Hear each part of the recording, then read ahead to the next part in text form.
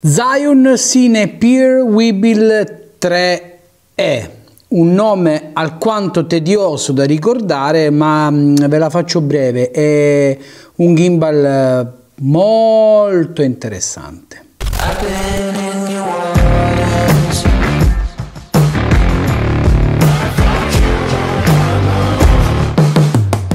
Cipollino, benvenuto sul mio canale. Sono Maurizio Albanese, filmmaker e content creator e nella mia esistenza ho una mission, cioè quella di farti innamorare appunto del lavoro più bello che c'è al mondo, secondo me, quello del filmmaker e del content creator. Attraverso recensioni, esperienze, backstage, ti porto con me nel, dietro le quinte del mio lavoro, della mia vita quotidiana come filmmaker e spero di farti appunto innamorare di questo lavoro. Ma ogni tanto le ditte mi mandano cose da recensire cioè ogni spesso ultimamente. E da qualche tempo come sapete se mi seguite da un po' ho iniziato questa collaborazione con la Zion che eh, devo dire la verità è sempre stata una ditta che mi ha davvero eh, stupito per la qualità dei suoi prodotti. Sono un utente Zion dai primi gimbal e, e devo dire la verità che eh, quando mi hanno proposto di provare in anteprima prima questo gimbal ero un pochettino così dubbioso perché arrivavo dall'esperienza eh, quella là tipo scratch, no? quella dei DJ, no? quella, non vi dico altro. E arrivando da quell'esperienza lì, mh, avendo tante uh, cose interessanti, eh, la, la, terza versione, ho detto capiamo un attimino. Ovviamente ehm, quando mi è arrivato uh, l'ho, testato, l'ho iniziato a testare, io ce l'ho già da uh, più di un mese ed è venuto con me in tantissimi lavori, l'ho portato con me praticamente in tutti i matrimoni che ho fatto dall'inizio della stagione e ehm, ho avuto modo di eh, capire tutti i veri pro e contro dell'utilizzo. Come sapete utilizzo Fujifilm e quindi ovviamente sarà molto specifica la mia esperienza d'uso sull'utilizzo con XH2S che è una delle camere che è eh, assolutissimamente eh, compatibile con questo Weebill. Attenzione, una compatibilità um, un pochettino sudata perché comunque all'inizio nei primi test abbiamo avuto difficoltà al collegamento. Poi a un certo punto ha funzionato ma ancora oggi quando vado a premere eh, il tasto di rec capita che ehm, ci metta un po' a capire che voglio andare in rec. Quindi diciamo ancora si può migliorare sicuramente i firmware aiuteranno e la Zion è molto attenta in questo. Parliamo eh, dell'esperienza d'uso e ce la cacciamo facciamo subito, è leggero, pesa circa 1 kg, 1 kg e 100 e ha un payload di oltre 3 kg, quindi comunque ci possiamo caricare veramente l'impossibile. Non è comodissimo con eh, lenti enormi perché comunque è concepito per essere leggero, però banalmente col 1655 f2.8 equivalente 2470 se vogliamo paragonare a un full frame di qualsiasi brand, lavora alla grandissima, è davvero un uh, gimbal potente. E ha un grande vantaggio che è quello di eh, essere va bene, facilissimo da tarare e soprattutto ha dei motori molto potenti. Ha dei motori così potenti che se non siamo precisissimi nel sistema del gimbal compensano in maniera silenziosissima grande pregio di Zion, i motori della Zion sono silenziosissimi e credetemi rispetto ai competitor questo fa veramente tutta la differenza del mondo e ehm, sono comunque dei motori molto potenti che ti danno sicuramente una grande affidabilità, non ti trema in mano anche se non è bilanciato bene e riesce a lavorare con serenità e tranquillità appoggiandolo ovunque grazie al suo cavalletto che è molto molto stabile anche con eh, camere molto impegnative. Ha una finitura in gomma che ti permette di eh, eh, avere un ottimo grip anche eh, con le mani sudate o comunque con le mani col caldo ecco e probabilmente perché ora è nuovo magari poi negli anni questa cosa potrebbe cambiare. Non sembra cedere la gomma sapete che la gomma col calore e l'umidità tende a sbriciolarsi questa invece sembra un'ottima rifinitura. Il grip è, in plastica ma è un polimero molto resistente perché è molto molto molto saldo. Sembra um, quasi la versione altra in carbonio come stabilità. Ed è leggerissimo veramente leggerissimo proprio perché è costruito in plastica. Ha questo meraviglioso joystick che ti permette di controllarlo appieno le modalità di eh, accesso le modalità di ehm, classiche, insomma, POV, al 360, PF, FF, insomma tutte le classiche modalità di gimbal. Non vi sto a dire tutto quello che c'è perché alla fine ragazzi lo cercate eh, sul eh, sito e avete tutte le informazioni stratecniche. Mi mh, mm, preme più darvi la mia personale esperienza d'uso e il mio parere su questo gimbal ed è potente, bello, pratico. Ma veniamo un attimino ai contro.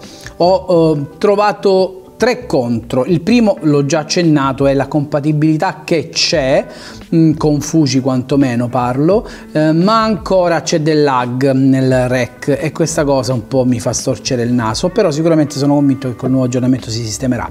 Altra cosa eh, importante da tenere eh, in considerazione è che a differenza mm, dell'altro a cui sono abituato, di cui parlavamo prima, eh, le, i braccetti, un attimo lo blocco se no ci fa uscire pazzi, i braccetti come vedete si muovono libera, liberamente, si bloccano eh, con eh, l'ausilio di queste levette, di questi mh, mm, stop eh, mi sarebbe piaciuto che fossero ele elettronici, nel senso che questa cosa funzionasse in automatico e quando lo spegni si posiziona da solo in eh, stato di ehm, parcheggio sostanzialmente e che si riattivi già calibrato. Questa sarebbe stata una feature che esiste in altri mh, mm, modelli, non, non, non, loro necessariamente ma anche di altri brand, eh, che ehm, è veramente comoda se si usa eh, per esempio in un matrimonio perché non ti serve, lo posi spento e poi lo riprendi e lo riaccendi ed è già pronto. Insomma, quello sarebbe stato un pochettino più eh, apprezzato rispetto a dover aprire questo, aprire questo, vedete che poi uno perde del tempo sostanzialmente aprire questo ed essere pronto a, a lavorare, insomma. Ehm, è semplicemente una questione di approccio, ecco, di modus operandi per dirla alla latina, eh, però di base eh, è una funzione che onesta, ci sta insomma, quindi vabbè. La terza pecca è quella della batteria. Abituato a una batteria un po' più grossa, ehm, avrei voluto eh, lavorasse un po' di più. Eh, l'intera giornata sempre acceso non la porti a casa. È anche vero che un matrimonio tutto fatto col gimbal io non lo concepisco, per cui per me questo non è un grosso problema, ma è bene sapere che se vogliamo tenerlo acceso tutto il santo giorno, a sera non arriva, avrà bisogno di essere ricaricato almeno eh, un'oretta. Eh, questo potrebbe essere un, una piccola pecca, ma tutto sommato neanche così grande eh, da dire oh mio dio come faccio. Raramente usiamo H24 un gimbal, cioè è da pazzi secondo me, però Ognuno ha il suo metodo, quindi è giusto che io lo dica. Stabilizzare questo marchingegno infernale è semplicissimo. Prendiamo una fotocamera, prendiamo, la apriamo, prendiamo la sua chiavetta esagonale in dotazione, il suo cavetto, stacchiamo, liberando qua il plate e sbloccandolo, stacchiamo appunto la piastra, il plate, se vogliamo fare gli americani, e la installiamo beceramente sotto la camera. Voilà, liberiamo il primo braccetto e installiamo la camera. La blocchiamo. Vedete che buca da un lato? Noi lo mettiamo più indietro finché questa cosa non smette. Ora è troppo. Perfetto. È il primo andato. Il secondo. Vedete già è bilanciato ora penzola un pochettino allentiamo.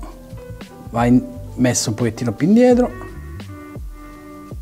Non bisogna essere troppo precisi perché comunque ce la fa ugualmente la camera. Liberiamo anche l'altro braccio lui si muove tranquillamente.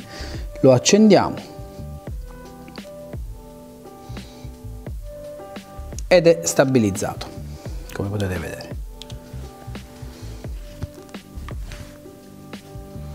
ok?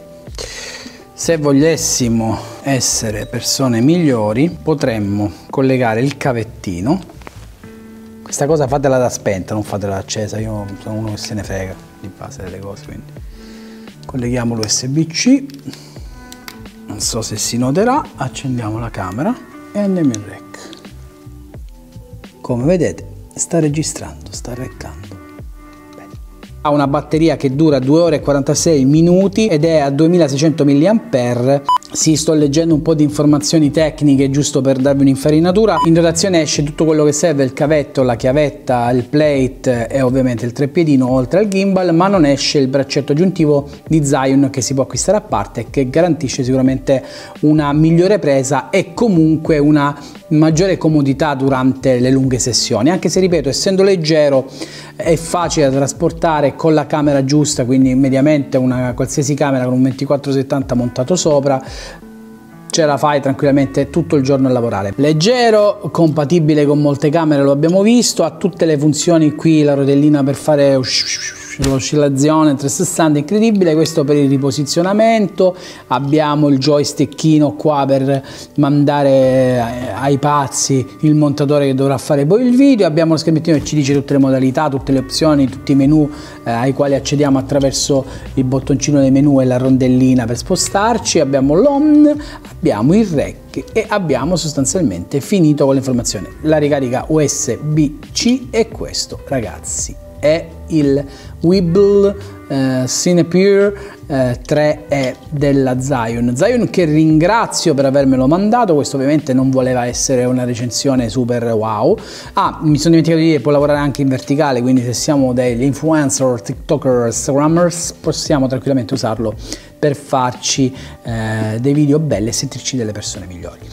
Eh, ringrazio Zion per avermelo inviato in anteprima, ringrazio Zion per avermi dato l'opportunità e la fiducia di testarlo e portare la mia esperienza d'uso su questo canale di questo bello oggettino qui che ripeto è, eh, ha un po' preso il posto, cioè l'ho preso completamente in realtà eh, dell'altro di cui parlavamo prima perché eh, è leggero, è più piccolo e sostanzialmente è perfetto per le mie esigenze. 279 euro se volete proprio saperlo, costa il link in descrizione.